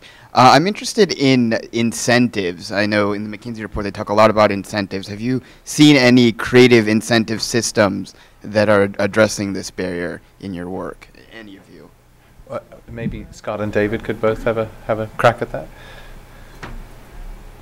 Well, we we put forward the, um, I guess the obvious incentives to just get the price signals right, and uh, when you get into the second order effects of once you get beyond just getting price signals right, you know, what can you do to to get the right incentives uh, when, when the, the market actually sees the right price to avoid some of the, the market failures, for example, in something like uh, energy efficiency, because there are these agency issues where, where people uh, don't make the right choices because the incentives aren't aligned. And, and we have lots of debates uh, around how to do that. And, and the, the first uh, kind of area of broad agreement is just having all the information available so all the decision makers understand the economics, and it's both information and education. Uh, and then from there, the, the, incentives get more into a, a political, uh, ideolo ideological debate. Yeah, and you have those who say this is so clear we need to put in standards and mandates to require people to use uh, uh, the, the right type of uh, energy efficiency device, whether it's a light bulb or, or heating and air conditioning system. Others say, no, we want to use a more market-oriented approach, and we're going to put in a whole a variety of, of uh, price signals to break through the market barriers, and, and uh, there are many examples of, of, that out there. But the way I think about it is, first, let's get the prices right, then let's get the information right, and then we can uh, start adjusting with uh, uh, getting after the, the second, third order uh, barriers. I would add to it. Um, there's the, the, incentives question is interesting because there's two levels of answer. Uh, one is do you do you have the right incentives, the right public policies, and that's obviously the result of a political process. Um, but assuming that the politics get the incentives right, one of the um, sort of non-price market failures is is the lack of of relevant, applicable, timely information about the incentives, getting the information about the incentives to people who can take advantage of them. Um, there, there's, there's no lack of incentives or disincentives today that affect behavior. There's thousands of them. The ability for a large, complex enterprise with global operations to figure out how to navigate through them, um, there's a barrier there. And, and, and, and many times it's, a, it's not a uh, capital barrier as much as it is a capacity barrier. If you're, if you're running a large complex plant, you've got so many things to take care of. Pursuing the, the incentive is sometimes at the bottom of the list. So incentives don't always have the, the full effect that they might. Um, we believe that information technology can help solve that problem. Um, if, if rather than having a human being uh, essentially do the search to try to find incentives that are applicable to your kind of process or your kind of facility in your particular jurisdiction, if you actually have a model of your enterprise, that model can be used as the search query to then look at all the incentives that are out there, whether they're tax or utility rebates or what have you. And we believe you can unlock a lot more actionable, relevant, uh, incentive-based behaviors. And, and, there's, a, there's a number of examples. In my previous job, I worked for the pulp and paper industry. Uh, and there was a change in the uh, U.S. tax code related to uh, biofuels. And uh, it just happened to hit as the economy was going into the tank. And by recognizing that change in the U.S. tax code, uh, we were able to get a tax uh, payment from the IRS, a rebate from the IRS that amounted to $1.2 billion in a single year. Um, you know, I don't think it was the I don't think it was the intention of Congress to do that, but in fact, that's that's that was the legal conclusion. Um, We'll call Senator Lugar back. yeah, yeah. Um, but but but but the, but the point is there there is an information capacity problem that could really make incentives um, uh, a lot more beneficial. There was a, a, a statistic in the report that I think sort of speaks to all of this, and so maybe Scott, I could quiz you about it um, uh, to show off how closely I read it, if nothing else.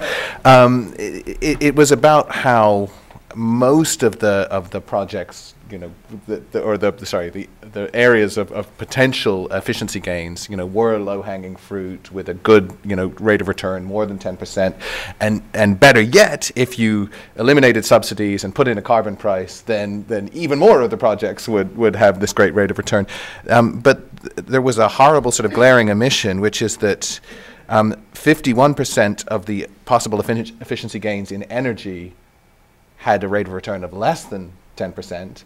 And even once you've eliminated uh, subsidies and put in uh, a, a, carbon price of $30, still 40, 46% um, had a rate of return of less than 10%. So, you know, even in this world that we don't really imagine is coming anytime soon with no energy subsidies and a, you know, strong carbon price, these are still going to be marginal projects, aren't they? So, I mean, this question is critical even in the sort of economist dream world where, where you know there are clear price signals and no distortion. So what then is the most efficient way to, to get some of those those 46 percent? So, so the analysis was looking at uh, projects that would have uh, a return between uh, 4% and 10%. So in other words, they were still attractive uh, at a 4% cost of capital, which was a sort of a, a society cost of capital, uh, and the 10% is something more akin to what you would find in, in a kind of a corporate environment. So, uh, and what we find is, is that we find frustration that we, are not achieving as much as we would like on the, those projects that are above 10%, and, and the, uh, IBM and C3 have lots of ideas on how to get after them, and, and we see it in our clients uh, that we to go after them. But then you do get in the ones where there are lower returns, and, and oftentimes at, at the consumer side where you have to be thinking hard around, uh, you know, what, what uh, is required in order to make those happen. And many times, if you are a free marketer, you'll say, well, those returns are just too low, and consumers are going to choose, you know, not to, to happen, and, and that's, uh, those opportunities will not be realized. So that's a part of the cost curve where, where it gets very difficult to, to, to get implemented. And then and if you're in places like China, we're just going to drive it that way and through standards and, and very aggressive targets that's where government plays a very big role, and that they would argue that uh, they're going to get that society benefits of, of, these returns, and that's an advantage their system has with a strong, effective government compared to a, a less effective government in a free market. So there's these debates that, that, that, that we see going on. My point of view on it is, is that since we are so conservative on the technology and on the behavioral side, that uh, we'll get more than the, the uh, opportunities we see in those bars because technology can improve much faster than what we have in there. And the behavioral side, as people absorb all these ideas and socially begin to engage in them, will pursue them uh, on their own, and we see that happening. So the reason why I, I you know, from an editor point of view, was happy to put in those numbers uh, is because I think they're all conservative. Uh, all right. Well, let, us hope so. Um, maybe we'll take a question at the at the back there.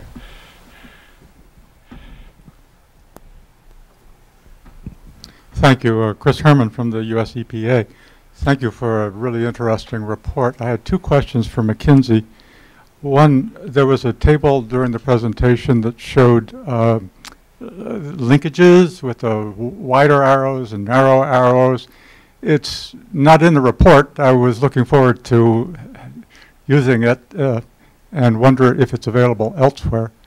The second question has to do with this um, strengthening the price signals desubsidization is an important uh, dimension, but with respect to setting prices, there's only the reference to setting a carbon price.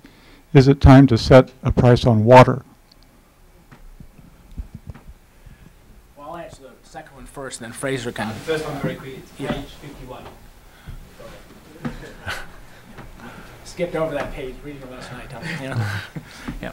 Well, I, I think, uh, uh, and again, Fraser could point out the chart, but but on the price signals, we, we do advocate a very, or not advocate is the wrong word, we do see a huge opportunity uh, to put in price signals on the water side as well. And when we talk about the trillion dollars per year uh, uh, cost of subsidies embedded in the system, you know, water is about uh, uh, a third of it in there. So water prices is, is a huge issue. And in fact, just to build on that, inside McKinsey, uh, when we talk to our skeptical colleagues, they say, how on earth can water be a problem? It rains all the time. What's the issue? and then would say, well, uh, when you have, you know, incredibly low cost of water and it's priced in this way, it, it leads to these terrible water shortages. And, and, and they go on and say, well, it's very simple. We just need to put in price signals. And we say, yes, it's very simple. Uh, but, but, this is the big issue in water, is, is getting the right kind of price signals in place, and that would be the first step toward kind of, uh, you know, getting after this issue. Do you find, Alan, with your clients that, I mean, obviously, unfortunately, most water goes to agriculture and, and, and they don't have the price signal, but presumably your, your clients do have a price signal and, and, and do have an incentive to, to, you know, manage water as a scarce product by and large. Well, you know, it's it's um, it's not what you think. There's a lot of unmetered water. Um, there are many cities that don't meter uh, consumer-based any consumer-based water uh, accounts. Industrial water commonly has some metering attached to it. And I think that a related topic to um, getting these uh, subsidies removed is getting cross subsidies removed because we have a lot of average pricing. Uh, while the average price might in total recover the long run marginal costs of that commodity, there's there's false price signals within that particular commodity, and we can only look to power for an example of that. The vast majority of consumers never see the price of peak power as a more expensive decision than off peak power, yet the wholesale price might be a thousand times more expensive at peak during off peak. Until we start pushing those cross subsidies out and seeing more de-averaging of prices, I think we have, which doesn't cost us anything on average. It's simply a matter of setting the right kinds of price signals for the right behavioral decisions. I think we'd see vast improvement there. Can I just say that comment? One of the things I, I've observed is, as we were talking about it this morning, we're, we're kind of using interchangeably the idea of a price signal and a cost signal, and obviously those are two very different things. And I just think there's probably good advice for policymakers, which is don't focus just on price signals, but actually what you really want is, is the cost signal. You want, you want the price to get as close to the actual cost as possible. And that's how you would really begin affecting behavioral change. Sure, absolutely. Although with water, it would be a good start to price it at all for, for, for most users, right? But um, let, we've got a, another question at the back there. Hi, this is uh, Manya Ranjan with McKinsey. Uh, we heard a lot of discussion on the on the topic of subsidies that they are priced, they distort the prices, and you have to do away with any of the subsidies either in the developed world or the developing world if you look at te technological adoption over the years, uh, any kind of technology adoption has happened only because of some kind of subsidy, which um, give the, I mean, open the door to any new technology and eventually led to a reduction of prices, which then lead to mass adoption, be it solar subsidies in Germany or feed-in tariffs for wind. I was wondering that, do, do we make any distinction between these two types of subsidies, or are we uh, advocating a complete uh, removal of any kind of subsidies, be it of any kind. Just. Um, Andrew, do you want to? Well, I, I, think you're you're absolutely right that um, we we shouldn't assume that everything here, even the part that's sort of supposedly below the cost curve, is sort of totally free. And, and I mean, that's precisely why we do actually need to mobilize resources. And obviously, we work in the developing countries, but it's just as relevant in the rich countries one really does need to sort of inject money very carefully throughout the entire decision making system. Um, and so, for example, I mean, one of the things that came out of Durban was the creation of a green fund. One of the most controversial parts of the design of that has been should there be a private sector window, which we have fought very much for. Why? Because actually, um, one needs to use a whole range of instruments that could be used whether to lower risk or to uh, address the global externality, but one has to use it very, very carefully. So we monitor extremely closely the leverage that we get with our subsidized money for climate change, for example. In other words, I mean, if we don't get a sort of eight to one ratio, that means we put in one dollar and the in overall investment in green investment, if you like, is eight dollars, we would feel we're not doing a good job. So the, the, the worst thing that would happen is if we raise a lot of money and we just go into old-fashioned projects. No, we've got to precisely put it in very, very cleverly. We've got to be able to estimate the, the supply curve, you know, in whatever particular type of uh, um, investment it is. And that's why, by the way, some countries are rejecting feed-in tariffs in the old-fashioned way because they feel Germany has wasted a great deal of money, and some, such as um, you know Michael Liebreich of the Bloomberg New Energy, I mean his view would be actually the feed-in tariff in Germany slowed down in many ways the development of some forms of renewable energy, and so that's why India and other countries have gone the route of sort of reverse auctions in order just to make sure we really do understand where that supply curve is. All right, I, I, think we only have time for, for one more question, I'm afraid. How about this, this gentleman here near the front?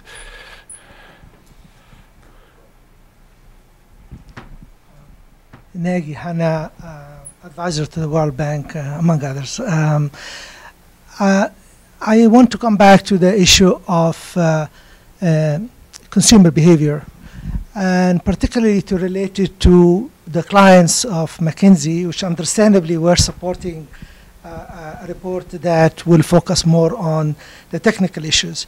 One of the big problems is that uh, what you may call induced behavior that comes more from commercialization, advertising, hyper consumerism, and so on. And that is catching up not only in the US, but all over the world, and particularly for the upper middle class and so on. And the question is that to what extent uh, either corporate social responsibility or some change in the mindset will be needed to begin to address these issues because ultimately if everybody is aspiring for a higher uh, consum consumer behavior, including private car and everything else, um, it will be difficult also for the politicians to change the signals uh, as well. Uh, so it's not just an individual responsibility, it's the corporate responsibility, and it's also political responsibility can we tackle this problem? Because ultimately it's a vicious circle. If they, the most powerful corporate uh, corporations um, essentially ignore their responsibility for the environment. Uh, and I'm not accusing that they are like that, but I'm saying by encouraging consumer behavior, they will do that. Yeah, so I, again, I have a, a, an optimistic view on that in, in, in, in, looking at over a long time frame. If you, if you think about the conversation we would have had, say, 20 years ago uh, on this agenda and, and uh, the attention that it would uh, receive in a, in a boardroom or uh, uh, in middle management of, of any company would, was a, very small share of mind.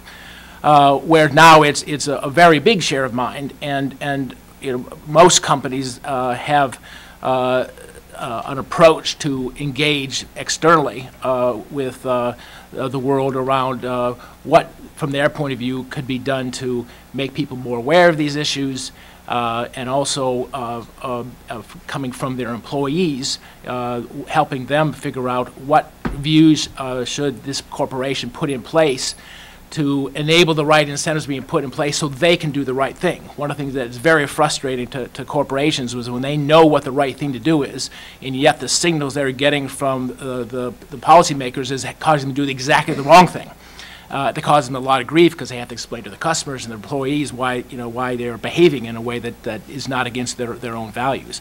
So I would say an enormous shift of attention toward uh, uh, corporations getting involved in a much more explicit way. And there are many, many examples of companies out there that are out there trying to engage with policy, uh, engage with consumers around uh, uh, this topic and are devoting resources to it. They will be constrained by the fact that their, their primary role is, is or at least if not the primary, a huge chunk of their role is toward generating profit, and that will limit the resources they can deploy. But, but I don't know any company that I see that doesn't have this high on their agenda and is engaging in, in this debate. Would it be reasonable to say that, I mean, you know, trying to get companies to tell people they don't want the things they're selling, you know, that's, that's, that's going to be a difficult uh, uh, um, furrow to plow, but, but perhaps getting companies to acknowledge the, the implications of selling those things and therefore to make them as, as uh, you know, efficient in the, their use of resources, their their creation of emissions, and so on. That that's a more manageable goal, isn't it? Yeah. yeah. I think that's the, the, the ones who have really thought through this, is, this is the way they operate. So if you're uh, Coca-Cola or Pepsi operating in India and you consume lots of water, you know, you're not going to go tell your customers not to drink Coca-Cola because you happen to use lots of water, but you are going to go really try to find ways to use water responsibly and engage in the water conversation in a sophisticated way in India. So it's that kind of, uh, of mindset. We haven't persuaded oil companies to say stop using oil, but they are looking through their value chain around what are the ways to use it more productively, and, and, and many, if not all of them now, understand that uh, carbon needs to be at least part of the conversation, which is very different versus 20 years ago. Uh, sure, go ahead, and then we'll just... Maybe uh, to end on a positive note, there's quite a few companies that are looking to different solutions to save money, improve their bottom line by using fewer resources, um, energy being most uh, obvious.